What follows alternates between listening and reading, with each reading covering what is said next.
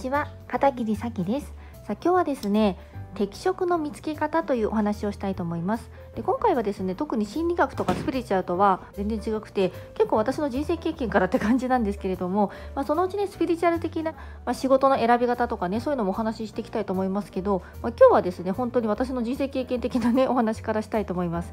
であの適職皆さん何がね自分に向いてるかなっていうのあると思うんですけど、まあ、私これまでですね結構かなりいろんな仕事してきてまして、まあ、正社員でも契約社員でも派遣社員でも個人事業主でもフリーランスでも働いてきてましてまあ、50社以上の大手企業で働いてきてるんですね、まあ、半分ぐらい外資で、まあ、いろんな外資って言っても、まあ、いろんな国の外資で働いてきてまして、まあ、あらゆる業界のあらゆる職種をしてきたって感じなんですね。で本当に結構もう世界トップレベルの会社でもたくさん働いてきてまして、まあ、いろんな会社とかいろんな社員を見てきてるんですね。であと私あの人材コーディネーターとかキャリアコーディネーターも一時期やってた時があってあの結構いろんな人にお仕事紹介してたんですけどね。であの本当にねそういった経験からね皆さんにね一つお話をしたいなと思うんですけどままずですね適職の見つけ方、まあ、本当にざっくりとね今日は適職を見つける上での2つの大きなポイントをお話ししたいと思います。まず1つは皆さんが思いつかない仕事は向いてないってことです。でね皆さんねあの何か仕事つこうかなって思った時に思いつかない仕事ってあると思うんですよ。絶対に。私だったら例えばですねあの経理とかでまず思いつかないんですね。であとですねあのまあ地図を作ろうとかねそういったことも思いつかないですし、まあ、社長さんになろうとかも思いつかないですしで私結構ね CA とかもね全然なりたいと思ったことがないんですよ。で結構もう私あのアナウンスやってきてますけど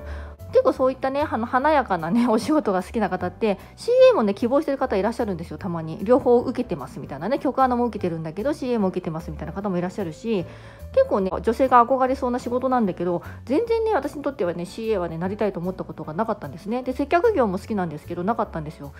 なんであの多分ねちょっと違うんだと思うんですけど皆さんがなんだか思いつかない仕事って絶対あると思うんですよね。何か仕事に就こうと思った時にね。それはまずあのやる必要がない仕事です。あのちょっとまあスピリチュアル的な部分も入ってくるかもしれないですけどあのまずね思いつかない仕事っていうのは向いてないです。向いてないし適正ではないですね。大体ねあの自分にそれなりに向いてる仕事を思いつきますから世の中ね結構たくさん仕事ありますよ。私今までいろんな仕事をしてきてますけど皆さんがね聞いたこともないような仕事もあると思いますしで本当に適材適所なんですよ。これって本当に。絶対私がやりたくないような仕事をすごく向いててすごく好きな人もいらっしゃいますし本当に世の中うまく回ってるなっていうのをね私は実体験として、ね、実感してきてるんですね。でまずね適性として思いつかない仕事はやらなくていいし向いてないってことを覚えておいてください。まず思いつく仕事って言ってもねいくつかあると思うんですよ何種類かねでその中でじゃあどうすればいいかっていうと、まあ、あのやっぱりね結構やってみないと分かんないとこ結構あります私もいろんな仕事してきてますから結構やってみないと適性分かんなかったりとかもすると思うんですよ例えば5つぐらい興味があったとしてまあ、どれが向いてるかなとかね分かんない時あると思うんですよ。はっきり言ってやれば分かります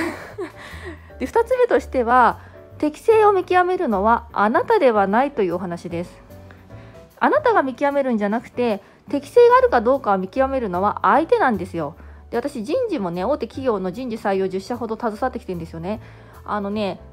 向いてるかどうかは相手が決めますから人事が判断しますので 皆さんは決めなくていいっていう感じです。例えばオーディションとかでも私まあね芸能の仕事とかいろんな仕事してきてますから結構いろいろチャレンジしてるんですね。いろんな面白そうなことはね。そうするとまあ受かるかどうかは相手が判断することで皆さんが判断することじゃないんですよ。あくまで適性があってその仕事にニーズがあるかは相手方が判断することなので皆さんが適性あるのかないのかななんて思ってる場合じゃなくて受けろって感じですね。受けりゃ分かるって感じです。それが向いてるかは皆さんが判断するのではなくて相手方社会のニーズとかその雇ってくださる会社とかクライアント様が考えることでして皆さんが考えることではないんですね。なんで適性があるかを見つける方法の2つ目としては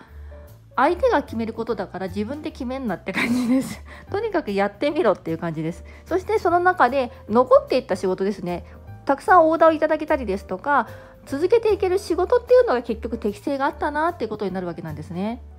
あくまでそれが合格した場合はあこの会社に適性があったんだなっていうことになるんです。なので皆さんが判断することではないので分からなければとにかく興味があるものはやってみましょうということでした。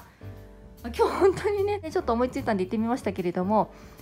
あの結構その仕事についてはですねあのちょっと実体験のいろいろスキルとかもいろいろあるのでそのうちね細かくお話もしていきたいなと思います。ちょっとざっくりとしましたがまず2つ覚えていただきたいと思います。で私の場合は何でこんだけ働いてきたかっていうとで結構やれることは多い方なんで、まあ、適職はたくさんあるんですけども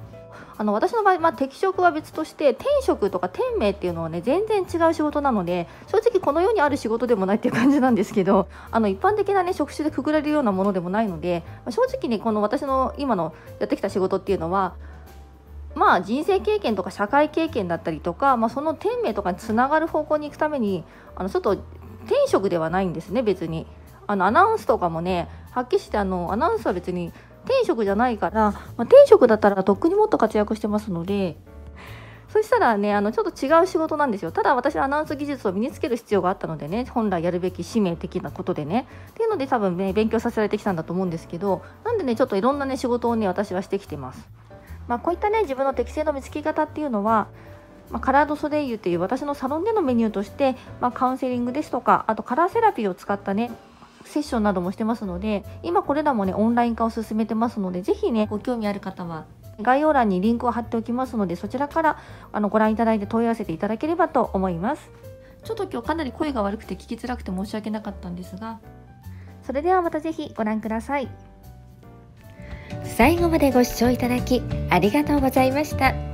またぜひチャンネル登録もよろしくお願いいたします。